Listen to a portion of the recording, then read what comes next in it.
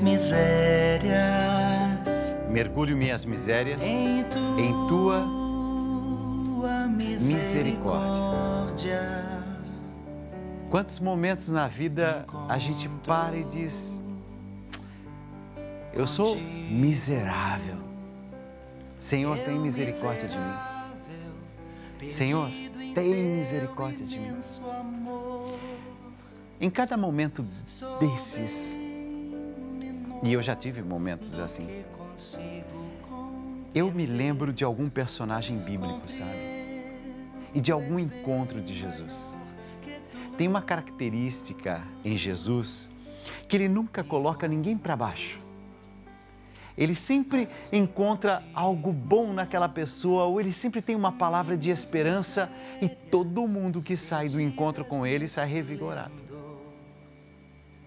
Filha, ninguém te condenou? Ah, então também não te condeno. Levanta, não peques mais. Vai, filha, vai para frente. Aquela pecadora que ia ser apedrejada. E lá estava o mestre, dizendo misericordiosamente: Eu não vim para condenar, filha. Eu só quero que você tenha uma outra vida. Jesus, naquele encontro no poço, e de repente, naquele momento, aquela mulher foi abrindo o coração, foi contando tudo para ele das coisas que ela vivia. E Jesus foi dando a ela a perspectiva de uma vida nova, a tal ponto dela sair daquele encontro dizendo: Eu encontrei alguém que, que sabia tudo da minha vida. Ela estava encantada com Jesus eu olho para aquelas pessoas feridas, machucadas, mulher encurvada, para aquele homem mão seca, aquele coxo.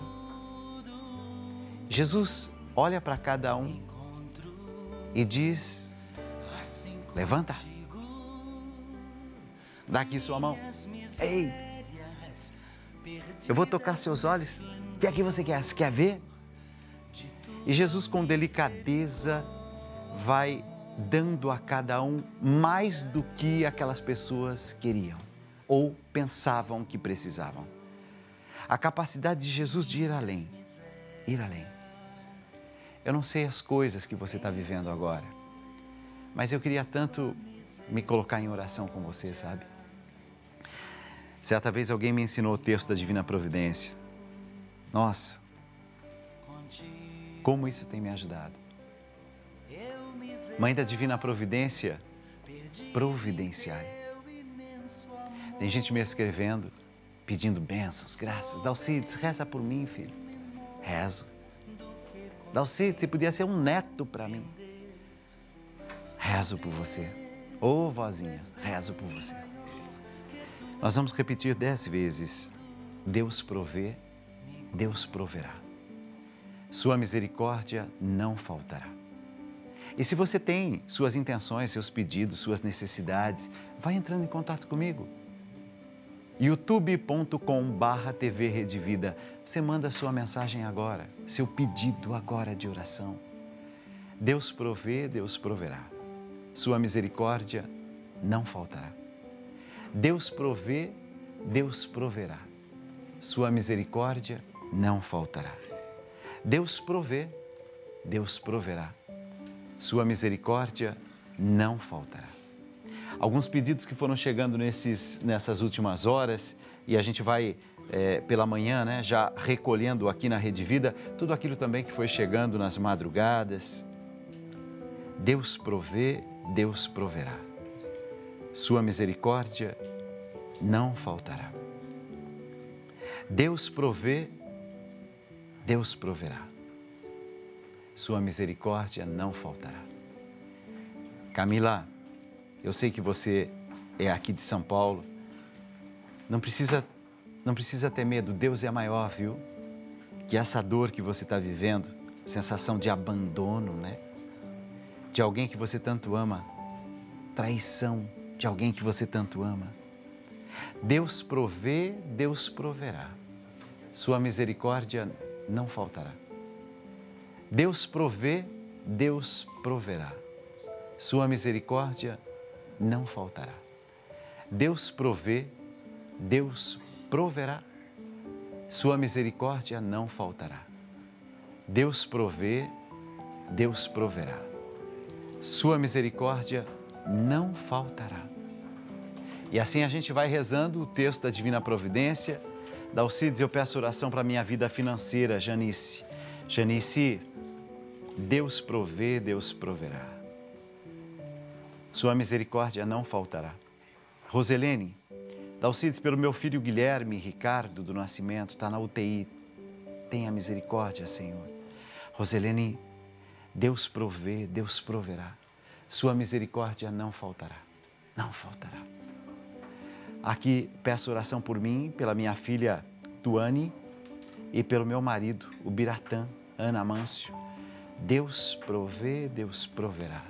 Sua misericórdia não faltará. Pela cura da filha Luana, está com diabetes tipo 1, é a Rosângela. Deus provê, Deus proverá. Sua misericórdia não faltará. Ao longo desses minutos que nós temos de programa, você vai se colocar em oração comigo. E daqui a pouco a gente vai receber, ele está chegando, Ricardo Sá, um homem de uma evangelização, só para você ter assim, uma ideia, né? 35 anos junto à comunidade de Canção Nova, evangelizando, naquele formato, daquele jeito, e há alguns anos já caminhando também como evangelizador por esse Brasil afora. Homem de uma espiritualidade, de uma fé. Quantas vezes você rezou com o Ricardo? Nós vamos fazer o seguinte: nós vamos continuar em clima de oração, porque o nosso programa está só começando. Vinde, Maria, chegou o momento. Eu quero reunir aqueles filhos e filhas de Nossa Senhora, sabe? E que Nossa Senhora dê aquele abraço que você está precisando, aquele carinho de mãe que você está precisando. Nossa Senhora sabe das suas dores e você vai ficar comigo até o final do programa e vai sentir uma paz como há muito tempo você não sente. O programa está só começando, vem comigo, Escolhas da Vida. Vai lá.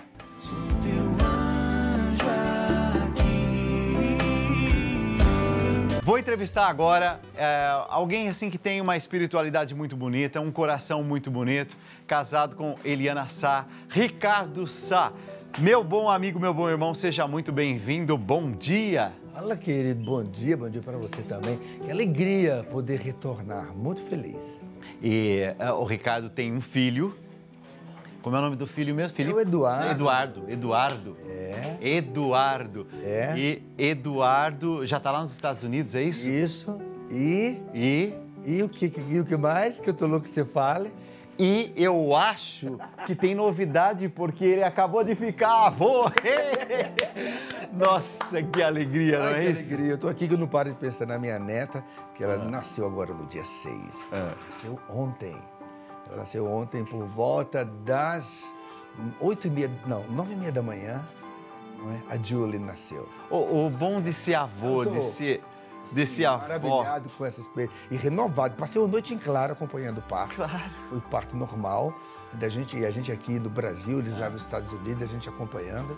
Então, mas de repente me vi assim repleto de força, de energia, porque eu olho aquela criatura linda, Julie, digo, meu Deus, quanta coisa para viver. Quanta vida pela frente, Quanta não é vida isso? pela frente, assim dizer essa, essa experiência. Será que é mais fácil ser avô, avó, do que ser pai, do que ser mãe? Não, não penso que seja mais fácil ou mais difícil, mas eu penso que são coisas absurdamente, deliciosamente diferentes, não é? Se, se você pode imaginar a minha emoção, conversando com meu filho ontem, ele com a Julie no braço, e ele falava comigo e tal, e de repente ele começa a falar assim: Não é mesmo, minha filha? Já vi, viu, minha filha, que você tem é o nariz da mamãe, não é, minha filha? Escutar meu filho dizendo minha filha.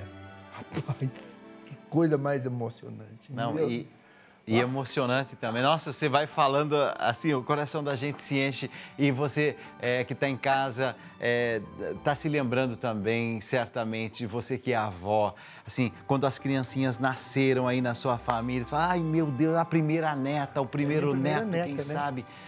Nossa Senhora. Muito feliz. Que bênção, né? Que bênção. Sim, uma bênção. Nós estamos falando tudo isso, mas tem um contexto. Ah, se tem. O contexto é o seguinte: tudo isso só é possível e colher dessa forma se você faz um caminho que vale a pena. Tem gente que está, assim, vivendo a experiência do namoro e já está trocando os pés pelas mãos, já está começando de uma forma tudo confusa, toda atrapalhada. Está aqui alguém que há muitos anos tem uma preocupação em formar bem esses casais já no namoro. Namoro é tempo de conhecimento Eliana e eu fomos aprendendo que o amor é um aprendizado. Olha, já usei até a palavra aprender duas vezes. Sim. É uma das palavras que eu mais gosto. Gosto da palavra aprendizado, aprendiz, processo. O amor é um processo, é um aprendizado. Eliana e eu entendemos bem cedo que é preciso aprender a amar. E a gente escola, aprende a amar onde? A gente aprende é, a amar para na nós. família. Para nós cristãos, ah. Ah. de modo especial, não é? Nós aprendemos a amar com a Sagrada Escritura. Ali Deus nos amou Deus, e Deus nos amou como? Deus nos amou se revelando, dizendo, estou aqui. Então nós vamos fazer uma coisa. Eu vou te dar 30 ah. segundos, ou então uns 40 segundos. Você vai pegar a Bíblia ah. e vai me ensinar, por exemplo, assim, a abrir essa Bíblia numa passagem que você diz assim, ah, que me fala ao coração. E ao abrir essa Bíblia numa passagem que fala ao seu coração, você vai me ajudar a entender como é que eu falo, né, de amor lendo a Bíblia? Como é que eu ouço o amor de Deus lendo a Bíblia? Porque ele diz: olha, a Sagrada Escritura é a nossa grande referência quando o assunto é amor. E eu queria entender isso com mais profundidade. O que significa a palavra de Deus ser sinal de amor?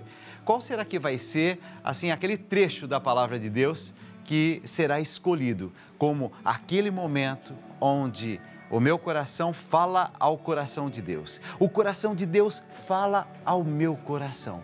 Bênçãos, graças ao longo de todo o programa. Eu quero dizer para você é, que esse programa vai te trazer lindas inspirações. Vem com. Ó, é, eu estou recebendo hoje Ricardo Sá, que eu tenho assim uma admiração muito grande, um carinho muito grande, mas é um grande evangelizador, grande evangelizador, um homem sábio. Ele disse assim: Olha, uma das formas como a gente sabe, né, assim, que está fazendo a vontade de Deus, ouvir Deus no próprio, assim, no próprio cotidiano, é lendo a palavra de Deus. Eu dei a palavra de Deus na mão dele e disse assim: é, deixa a palavra falar agora. O que, que a palavra disse a você? A palavra de Deus diz assim: Não tenha medo, pois eu o salvarei. Eu o chamei pelo seu nome você é meu. Quando você atravessar águas profundas, eu estarei ao seu lado. E você não se afogará. Quando você passar pelo meio do fogo, as chamas não o queimarão, pois eu sou o Senhor teu Deus, o Santo de Israel, teu Salvador. Dei como pagamento o Egito, a Etiópia e Seba, a fim de que você fosse meu, Dalcides. Para libertar você, Entrego nações inteiras como o preço do resgate, pois para mim você vale muito. Ai meu Deus, como a gente quer ser importante para alguém, né?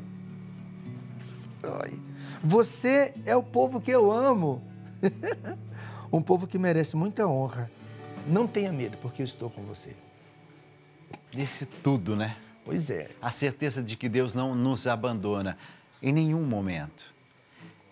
Você lê um trecho como esse, te inspira ao longo do dia? É, me inspira e, além de inspirar, é fundamenta o amor, entende? Porque a gente vive se perguntando o que, que é o amor, não é? E aqui a gente vê que amor, acima de tudo, é presença. Então, se você pegar a Sagrada Escritura inteirinha, você vai ver que ela tem um refrão. Que ela tem alguns refrões, digamos assim, ah. mas um dos refrões mais importantes aqui é Eu estou com você eu estou presente com você.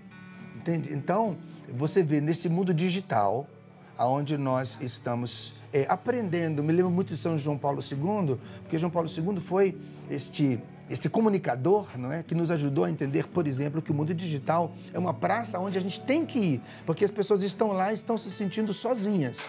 Então, eu nem gosto muito de falar de coisa que, que, que não é presencial, porque nós estamos aprendendo a nos fazer presentes através dessas mídias digitais. E eu penso que João Paulo II, ele é ele é assim. Eu penso, não, ele é o cara que, pelo menos para a minha geração, a nossa, foi a quem nossa. nos falou mais disso e nos encorajou a fazer isso. Então, o que, que Deus está dizendo, basicamente? Eu estou com você. Então, é com Deus que a gente aprende. E essa a amar. certeza que nos deixa, assim, serenos tranquilos, mesmo em meio a uma batalha, mesmo em meio às dificuldades. Eu estou com você. É, eu já contei aqui, mas agora tem contexto para repetir. É, eu me lembro que numa igreja aqui próximo da Rede Vida, a igreja de Santa Terezinha, lá estava eu sentadinho num dos bancos ali no fundo e uma senhorinha é, encosta assim as mãos aqui assim em mim e diz assim: posso rezar um pouquinho por você? Nossa, que coisa gostosa de ouvir. Era Deus, né? Naquele, era, era Deus. Era Deus falando comigo assim: filho, você é precioso para mim. Uhum. Se tiver que passar aí é, um perrengue, eu vou estar tá com você. Não tenha medo, porque eu estou com você. Eu estou com você. Você é precioso para mim. E se continuar lendo, vai estar tá lá. Eu gravei o seu nome na palma da minha mão. Quando é que você escreve alguma coisa na palma da minha mão? Quando uma coisa é importante, você não pode esquecer. Aí você bota aqui na palma da mão. O meu nome está na palma da mão dele. Olha, esse é um momento tão especial também porque agora é inspirado, né? Muito obrigado Na pela experiência. Palavra. Esse homem teve uma ideia que é realmente assim é uma grande iluminação, grande iluminação. E eu chamo isso de uma grande missão também. De repente ele começou a perceber que era preciso um ambiente nesse mundo da internet onde as pessoas se encontrassem, principalmente pessoas que estão em busca de um relacionamento seguro, de um relacionamento com alguém que, assim, eu me identifico e que tenha valores, valores cristãos. E de repente ele disse: Sabe o que eu vou criar? Um aplicativo. E deu o nome de Canar. É esse aplicativo que está aparecendo aí agora, na tela da sua TV. Você já conhece, você que está em casa, você conhece esse aplicativo? Como é que surgiu no seu coração essa ideia que as pessoas em casa agora, a hora que compreenderem, vão falar: Meu Deus do céu, que ideia fascinante. Ao longo da nossa caminhada, não é? Trabalhando com casais, famílias, noivos, namorados, né? Que esse é um aspecto bem bonito da minha missão junto com a Eliana, minha mulher. Os solteiros começaram então a nos indagar. Ricardo, Eliana, o que, vocês podem fazer para a nossa realidade? E foi ali que surgiu essa inspiração de um aplicativo de encontros para solteiros cristãos com uma área de formação. Então, assim, a gente pesquisou muitos aplicativos. É, o que a gente está apresentando aqui é resultado de um trabalho de um ano e meio de uma imersão na, na, construção desse aplicativo. Até onde a gente enxergou, nós não encontramos um aplicativo de encontros com uma área de formação. Agora, o que é essa área de formação? É justamente por conta daquilo que eu falei para você no início.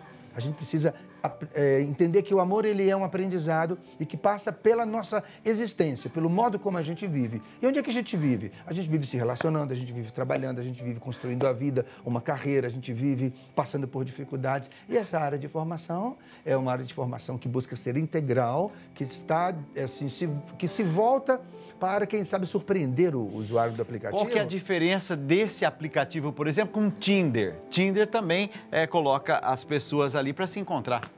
É, a grande, o grande diferencial é exatamente esse. É a área de formação, penso que é o diferencial mais importante, mas também, além da área de formação, é o fato de ser um lugar que vai acolher você, que tem seus valores, que pensa, que sonha com a sua família, e você vai encontrar gente que está ali dizendo: está difícil encontrar alguém, não é? E está difícil mesmo. A gente está dando uma mãozinha para você. Baixe o aplicativo e encontre alguém. Ó, se você sente no coração o desejo de encontrar alguém, Mas assim, sabe, é, eu até frequento esses outros é, sites, canais, tal, tal, tal, aplicativos, mas eu queria um ambiente mais assim, é, católico, um ambiente mais cristão. cristão, um ambiente onde se tem assim mais esses valores, a fé, a fé seja um elemento importante. Aqui eu não estou falando que um aplicativo é melhor que o outro, que um não presta, que o outro é bom, não estou falando nada disso, não tem juízo de valor. Eu estou simplesmente dizendo para você que se você quiser um ambiente, sim, super de acordo com o seu jeito de viver a sua fé, Exato. este ambiente ele é, foi preparado por esse coração bonito e por mais alguns é, corações bonitos que se associaram a esse coração e a esse sonho. Por isso que você que está em casa tem perspectiva, tem jeito. Dalcides, é, eu vou então começar a entrar agora, tal, não sei o quê. Baixa o aplicativo agora, não vai pagar nada para baixar o aplicativo, entrar no aplicativo e a partir dali você vai começar também a conhecer as pessoas. E tem uma área toda especial que é a área de formação. E nessa área de formação, formação, você vai encontrar ali orientação, você vai encontrar ali elementos para você poder amadurecer na fé e amadurecer a dois, porque assim que você encontrar essa outra pessoa, vocês juntos vão fazer um caminho de é, aperfeiçoamento e rumo a um matrimônio. Quem sabe o seu matrimônio dependerá, inclusive, de um momento como esse, de é, baixar esse aplicativo, entrar em contato, falar um oi para uma pessoa, você vai conhecer. Mas daqui a pouco também nós vamos orientar pessoas que estão vivendo situações de namoro, mas esse namoro está complicado. Posso te ajudar? Posso colocar o Ricardo Sá para te ajudar? Em um minuto.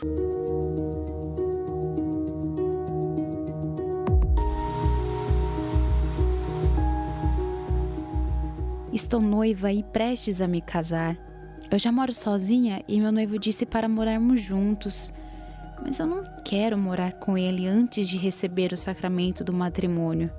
Ele está passando por dificuldades financeiras e não quero deixar de ajudá-lo.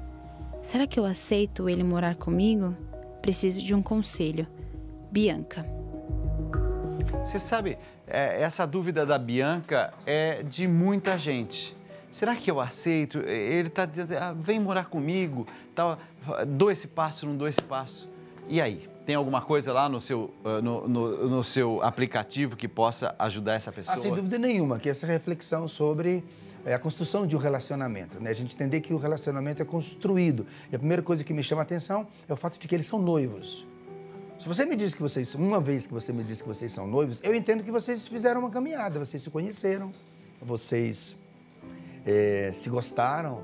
É? E vocês já namoraram um tempo, não sei qual foi o tempo, mas foi um tempo suficiente para que vocês ficassem noivos. Né? Vocês desejam, não é, receber o sacramento do matrimônio e tudo mais. Esse cara que hoje é seu noivo, foi um dia seu conhecido e seu namorado. Você não conhece os valores que ele tem, não? Vocês não conversaram ao longo do caminho? Como é que é possível essa, essa senhorita, é? nesse momento agora, quando já são noivos, se ver com uma pergunta como essa, que deveria ter sido conversada ao longo dessa construção? Porque não, não, parece que é uma pergunta um pouco equivocada. Aliás, a dúvida dela é um pouco equivocada, porque se trata do noivo dela. Quer dizer, você já conhece esse cara. Então, é um momento então de rever os valores que vocês percorreram construindo a paquera, o namoro, o noivado em direção ao casamento. A direção, a decisão de vocês agora, ela tem que ser uma direção coerente com o caminho que vocês fizeram até aqui. Se você olhar para isso que está acontecendo e dizer, a gente precisa decidir ponto final, você vai provavelmente errar. Mas dá uma olhada na caminhada que vocês fizeram, sobre o que vocês foram conversando, retomem os valores de vocês e decidam com coerência. Você sabe, eu vou dar uma sugestão aqui, nem sei se eu vou, assim, é, dar a, a, sugestão mais inteligente ou mais certa do mundo, mas qualquer coisa vai você lá, me corrige aí então, tá? É o seguinte, você sabe que eu acho que às vezes a gente confunde o casamento o casamento, assim, com aquela festa, aquele glamour, aquela coisa e tal, e o sacramento do casamento. Não necessariamente você precisa unir as duas coisas. Você sabe que se você já chegou a um ponto que você diz assim, nossa, mas é essa pessoa mesmo, tal. Eu já vi, por exemplo, casamentos acontecendo numa igrejinha pequenininha, tá lá o noivo tá o pai, tá a mãe, tá é, Padrinhos. os padrinhos, né? Dois, três padrinhos ali no máximo, no máximo, pronto, já tá ali. E a- aquela cerimônia assim bem restrita, pronto. Se isso pode te ajudar, filha, faça com que esse passo sacramental possa, de uma forma simples, acontecer. Ai, mas eu queria depois, de- mais para frente. Quando passar a pandemia, mais para frente, quando você tiver mais recurso, mas agora a gente vai fazer um momento de, assim, sabe, celebração de todo mundo junto. Vamos reunir os amigos, vamos fazer realmente uma grande festa, vamos isso. E aí a gente vai tornar, assim, público para todo mundo esse nosso momento de união. Ótimo! Você eh, resgatou aquilo que é o sacramental e o sacramento na sua vida, o sinal forte da sua fé, e você também resgatou essa outra dimensão dessa comemoração festiva e essas duas dimensões sendo salvas de uma forma bem possível. Não pode ser um caminho? Eu acho que é um caminho muito saudável e eu tenho visto, graças a Deus, muitos casais fazendo esta, esta opção. Revendo seus valores, o modo como querem, inclusive, construir a vida materialmente, porque tem gente que acaba gastando o que não tem, porque quer fazer um casamento para todo mundo. Exatamente. Não precisa tudo isso, filha. É, esse casal aí, será que eles, como noivos, já estão maduros para o casamento? Que, que não antecipa? Exatamente. Ó, eu acho que a vida podia ser mais simples. Mas daí fala assim, ai não, mas eu quero chegar numa carruagem e eu quero é, que venham, é, assim, é, muitas pessoas. São 500 pessoas da parte dele, 500 pessoas da parte dela. Filha, você está complicando demais esse momento. Então faz o seguinte, né? O sacramento recebe assim de uma forma mais discreta, de uma forma mais profunda, mais assim meditativa, tal. Depois você faz a grande festa lá na frente quando você puder. Nossa, é, que essa ideia possa inspirar muita gente. Valorize o sacramento. Valorize o sacramento. Se o sacramento é importante para você, não abra mão dele. E é que a festa, as outras coisas, elas venham, mas não necessariamente as coisas precisam estar ali, ó, juntinhas, como se fossem uma coisa só.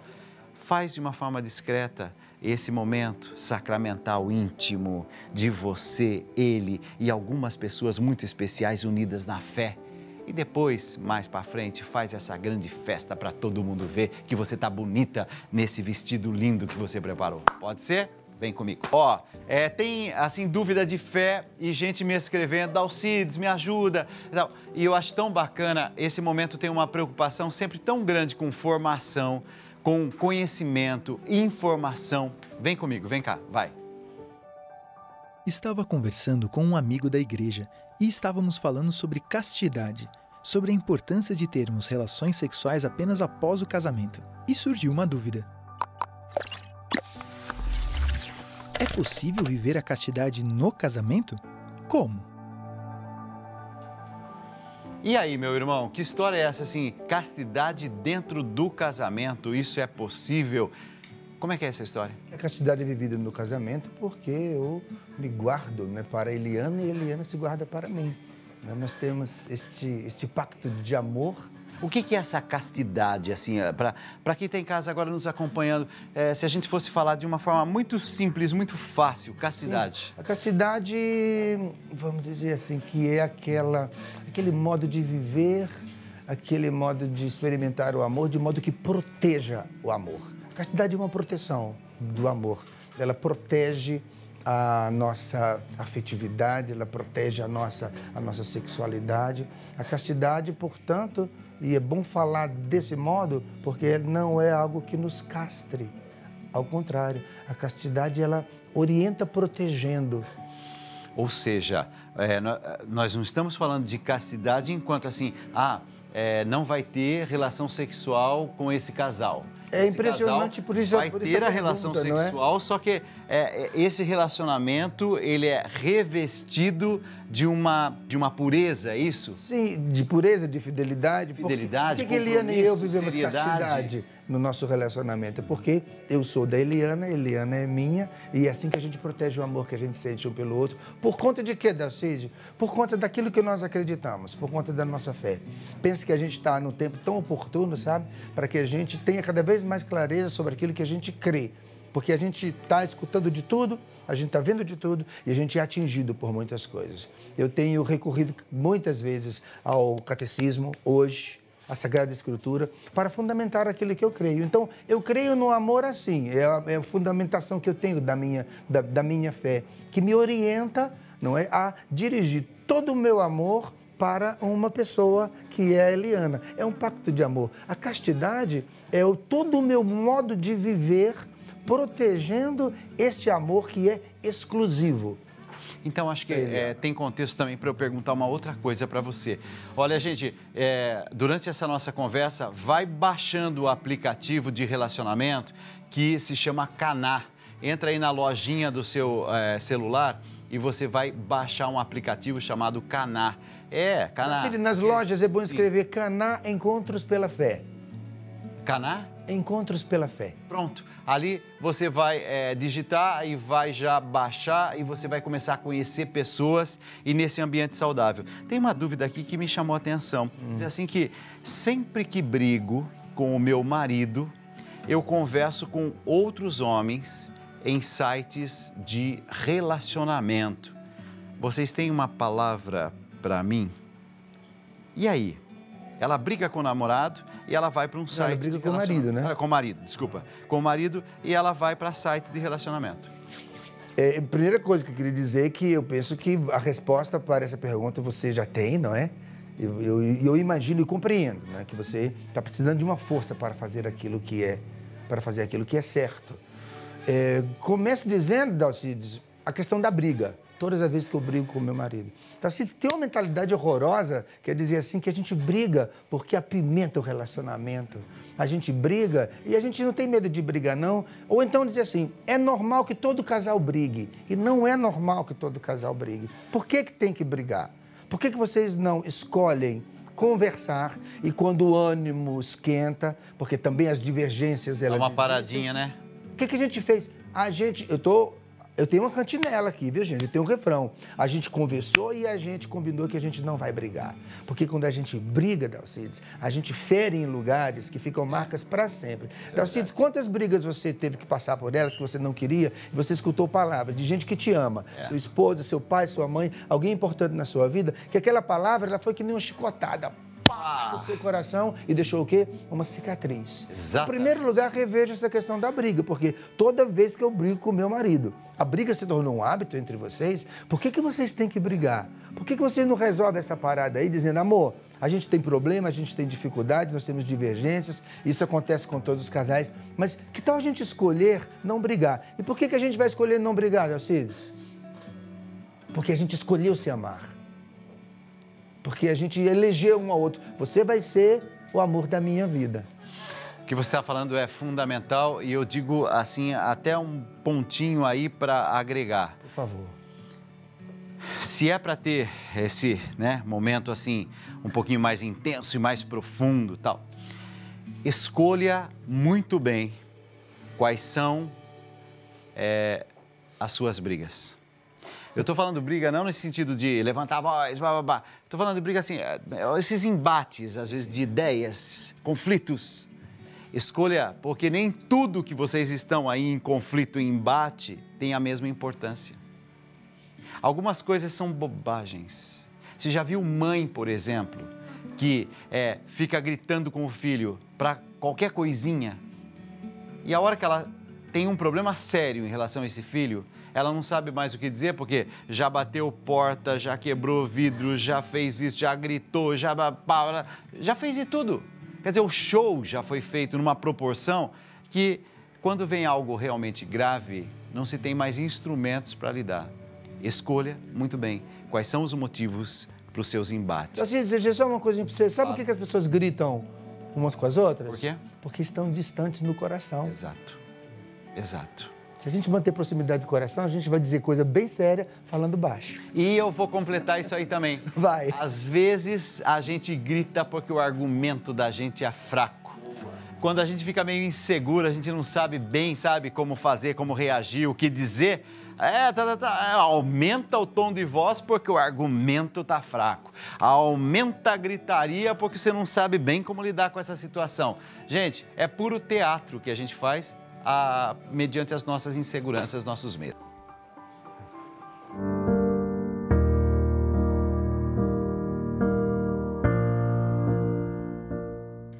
Venho por meio desta carta agradecer os programas lindos que você faz. Sou grata pelas suas orações e pelas reflexões que compartilha com seu público. Me tornei benfeitora para poder ajudar esta obra que salva muitas vidas. Peço oração para toda a minha família e para a sua também. Que Deus sempre ilumine sua caminhada de fé e o trabalho que você realiza. Obrigada por tudo. Helena da Silva Eduardo. Helena, sou eu que tenho que te agradecer. Obrigado pelo seu carinho com a gente, obrigado por fazer parte dessa nossa família, muito obrigado por tudo. Minha gente, é, eu queria assim incentivar mais uma vez porque eu vi a importância desse, dessa ideia, dessa missão que nasceu no coração desse menino bom, né? Ricardo Sá é um homem do bem e ele tem espalhado coisas boas por esse nosso mundo. E agora com assim um aplicativo que é revolucionário é o único que eu conheço com esse grau de profundidade. Você vai entrar, você vai conhecer pessoas e você vai ter um processo de formação. Imagina tudo isso num mesmo ambiente. Ambiente é, assim muito sadio. cana.net.br ou baixar o aplicativo aí na sua casa. Aquela mensagem final que faltou dizer para quem está em casa. É um agradecimento imenso por estar aqui. E o melhor que pode acontecer é a gente se encontrar lá no canal, na área de formação. Vamos aprender sobre o amor, vamos fazer a experiência do amor, vamos crescer nessa experiência, porque Deus tem felicidade para todos nós. Então, espero que a gente se encontre no canal. Até breve. Amigo, obrigado mais uma vez. Eu que agradeço. Ó, é, você que está em casa, 4h15 da tarde, eu vou estar tá ao vivo aqui pela Rede Vida esperando você. E tem mais uma coisa, hein? Eu quero convidar você a fazer parte da nossa família. Eu disse agora de pouco aí para Helena, né? Helena, obrigado por fazer parte da nossa família. Como é que acontece isso? Eu vou te contar em um minuto, já já, tá bom? Fiquem na paz, Deus abençoe. Tchau.